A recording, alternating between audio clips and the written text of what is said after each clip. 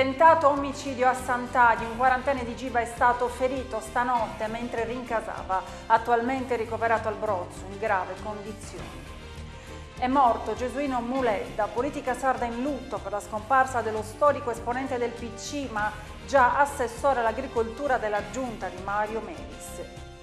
Carboni a bilancio di previsione domani in Consiglio. All'ordine del giorno dell'Assemblea cittadina anche una variazione di bilancio di previsione 2018-2020. Nel TG l'assessore Manca spiega alcuni degli obiettivi principali. Dal 7 luglio i saldi estivi, tra aspettative e rassegnazione si ipotizza una spesa media a famiglia di 227 euro. Ben ritrovati su Canale 40, lo avete sentito dai nostri titoli di apertura, la cronaca, forse si tratta di tentato omicidio, ma non si escludono altre ipotesi. L'incidente accaduto nella notte appena trascorsa nelle campagne di Sant'Adi, la vittima, un quarantenne di Giba, eh, si trova attualmente ricoverato in coma nell'ospedale Brozzu di Cagliari. Guido Cadoni. Tentato omicidio durante la notte intorno a Luna in località Maramai, territorio del comune di Sant'Adi. Un operaio NA, 40 anni, di Giba è stato ferito con due colpi di arma da fuoco alla testa ed è attualmente in coma nel reparto di rianimazione dell'ospedale Brozzu.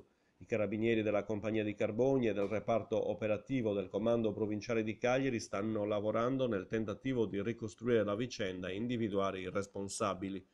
N.A. era alla guida della propria auto, una Mercedes, con lui un pensionato di Masainas 65enne, appresso un'altra auto guidata dal padre della vittima. I tre rincasavano dopo aver lavorato nei campi. Nel tragitto N.A. è stato raggiunto da due colpi di arma da fuoco alla nuca, perdendo successivamente il controllo dell'auto.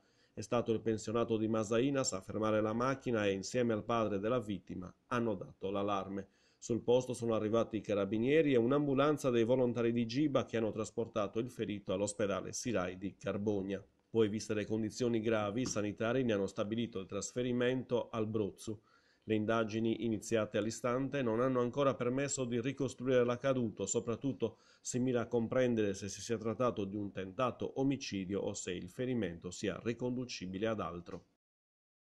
Il Consiglio Comunale di Carbonia si riunirà domani per discutere tre punti inseriti all'ordine del giorno, tra cui una variazione al bilancio di previsione 2018-2020 ed è proprio di bilancio che abbiamo parlato con l'assessore competente Mauro Manca che ha fatto il punto sui principali obiettivi del bilancio di previsione appunto. Vediamo. In sintesi, volendo parlare eh, della previsione da qui al 2020, quali sono per esempio i punti cardine che avete individuato?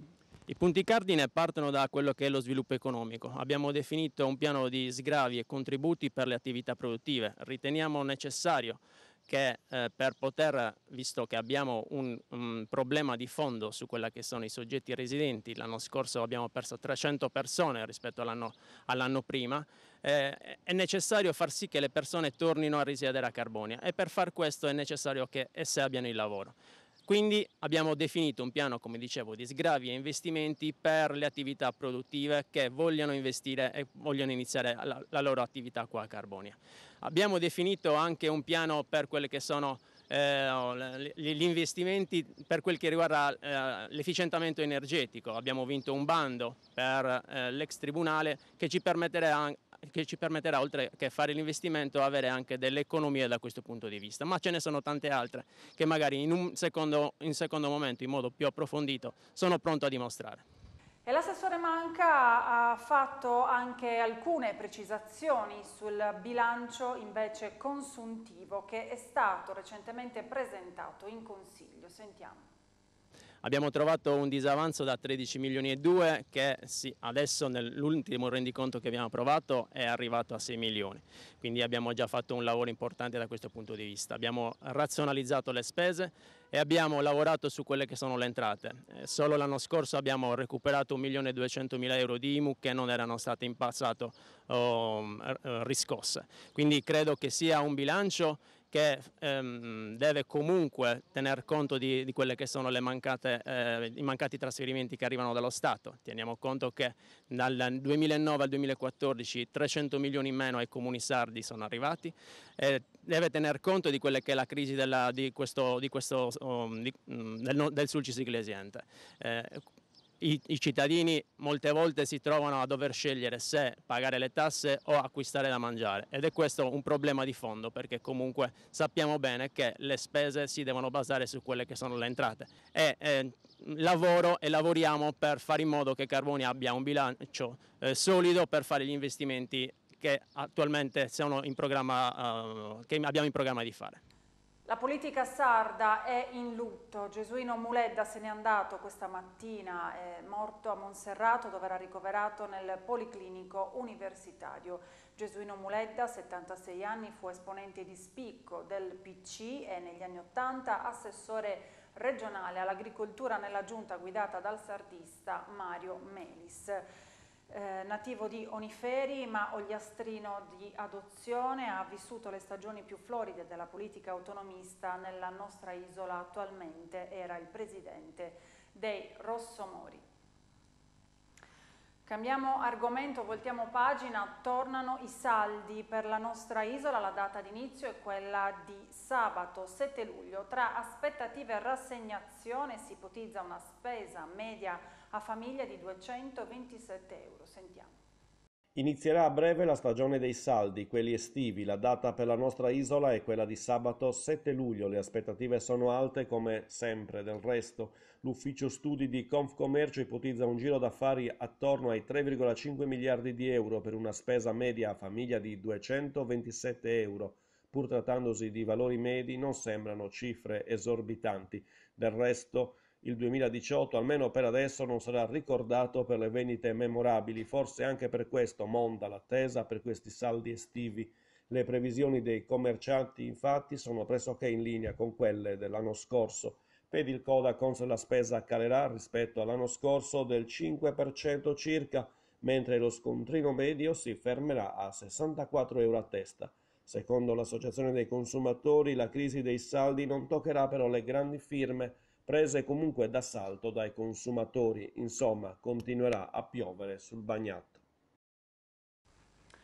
È stato presentato nei giorni scorsi il bilancio della società Euralcop di Carbonia nella sala riunioni dell'Uotel. Come di consueto i soci si sono riuniti in assemblea per votare il documento finanziario che è stato approvato all'unanimità così come il rinnovo delle cariche del Consiglio di amministrazione con Nino Flore in qualità di amministratore delegato, Ignazio Mura presidente, nonostante la forte crisi internazionale che colpisce significativamente il nostro territorio, quello che è stato approvato è un bilancio positivo che conferma il trend degli anni precedenti e viene maggiormente consolidato anche dal bilancio positivo della Lampo 5, società controllata dell'Uralcop che gestisce le strutture alberghiere e tutto il settore turismo. La società Euralcoop dunque si conferma ancora una volta leader sul mercato nel territorio. Andiamo avanti, vi abbiamo parlato di recente dei servizi che vengono attivati sui nostri cellulari senza averne fatto richiesta, magari semplicemente sfiorando un tasto nel nostro schermo touch durante la navigazione su internet e così è possibile appunto attivare alcuni servizi a pagamento che spesso azzerano il credito presente sulla scheda. Riprendiamo questo argomento e sentiamo alcuni consigli della Di Consum. Parliamo un po' dei servizi telefonici a pagamento, telefonici e non solo, anche servizi che si attivano attraverso il nostro computer. Capita spesso che quando riceviamo le fatture eh, troviamo addebitati dei servizi non richiesti. Ci chiediamo, e questi servizi come sono stati attivati? Purtroppo spesso si attivano involontariamente, magari leggendo delle pubblicità oppure dei quesiti che ci sono uh, attraverso delle app, quindi uno ha dei quesiti, indovinelli, clicca e non sa che facendo, facendo questo gesto dà avvio a un abbonamento, abbonamenti gestiti da aziende straniere, eh, spesso dei paradisi fiscali, ma attraverso oh, le ditte telefoniche, le varie Wind, 3, Vodafone, Team e via dicendo. Quindi ci troviamo spesso questi, questi, abbonamenti non dovuti. Cosa bisogna fare quando non li riconosciamo? Prima di tutto dobbiamo chiamare la ditta, la compagnia telefonica che ci ha addebitato i costi e questi diranno che non dipende da loro, non sono loro, invece sono loro che hanno fatto i contratti, quindi dobbiamo rivolgerci a loro. In caso contrario, o se la disattivazione non è immediata, possiamo rivolgersi all'Agicom, che, la, che è l'agenzia garante delle telecomunicazioni in Italia, con dei numeri che ora vi leggo, numeri telefonici appropriati e possiamo chiedere anche il rimborso di quanto pagato e non dovuto, non dovuto perché il servizio è stato eh, attivato senza il nostro consenso o quantomeno senza la consapevolezza che attivavamo un servizio, perché spesso si fa un click su, su una richiesta, noi ne facciamo due volontariamente, il secondo è l'attivazione, ma questo non lo sappiamo alcune volte si fa anche per telefono, arriva una telefonata, uno squillo, rispondiamo, non rispondono, ci portano via i quattrini, ci sono tante possibilità. Allora il numero da fare all'Agicom è 800 44 2299 ed è attivo 24 ore al giorno dove noi possiamo dire all'Agicom spiegare quello che ci è successo, qual è la compagnia, chiedere le modalità di denuncia per riottenere annullamento del servizio ed anche l'eventuale rimborso spettante.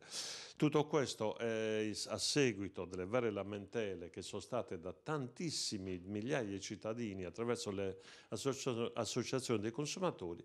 Questo è quello che, riusciti, che siamo riusciti ad ottenere quindi un numero dedicato alla Agicom, ripeto, che è l'autorità che gestisce le telecomunicazioni in Italia. Il numero da fare è 800 44 22 99 ed è attivo 24 ore al giorno. Prima però chiamiamo la ditta che ci fornisce il servizio telefonico. Il Presidente del Consiglio Comunale di Carbonia, Daniela Marras, ha convocato, lo dicevamo nella nostra prima parte del telegiornale, una seduta dell'Assemblea cittadina per domani alle 19.30 presso la sala polifunzionale di Piazza Roma. Nell'adunanza pubblica verranno discussi i tre punti all'ordine del giorno, le comunicazioni del sindaco, le interrogazioni, le interpellanze e le mozioni e infine la variazione al bilancio di previsione 2018-2020. Il Comune di Carbonia informa che la Polizia locale effettuerà nel corso del mese di luglio i controlli sistematici su tutto il territorio comunale per verificare che siano rispettati i limiti di velocità da parte dei conducenti. Le postazioni di controllo per il rilevamento della velocità saranno di volta in volta presegnalate a norma di legge dall'apposito segnale stradale di indicazione temporaneo ad alta visibilità riproducente l'iscrizione Polizia Municipale Carbonia controllo elettronico della velocità. L'apparecchiatura tecnica per il rilevamento sarà impiegata con la presenza e sotto il costante controllo del personale del comando di polizia locale. Sono state presentate sabato mattina nel corso di una conferenza stampa le edizioni 2018 delle manifestazioni Ombreggiando e Notteggiando. Insieme al sindaco di Iglesias e Mauro Usai erano presenti tutti gli organizzatori delle due iniziative, il centro commerciale naturale, centro città, Iglesias Servizi, la società in-house del comune che si occuperà della parte tecnica il Consorzio Turistico per l'Iglesiente e il Liceo Scientifico Statale Giorgio Asproni. Sabato 30 giugno scorso nel ristorante Tanite di Carbonia c'è stato l'avvicendamento tra il presidente uscente del Rotary Club di Carbonia, dottor Giovanni Battista Mezzena, e il presidente entrante, dottor Antonietta Cuccheddu, la dottoressa Cuccheddu, attualmente dirigente scolastico dell'Istituto Angioi di Carboni è il secondo presidente donna del Rotary Club di Carbonia. Prima di lei la professoressa Lucia Morino aveva ricoperto la stessa carica. La dottoressa Cucchedu rimarrà in carica per tutto l'anno rotariano, ovvero sino al 30 giugno 2019. Con questa notizia si chiude il nostro telegiornale, io vi ringrazio per averci seguito, vi lascio adesso alle previsioni del tempo, poi Noas in corso il nostro telegiornale in lingua sarda insieme a Guido Cadoni. Vi ringrazio ancora per l'attenzione, vi do appuntamento alle prossime edizioni del TG40, arrivederci.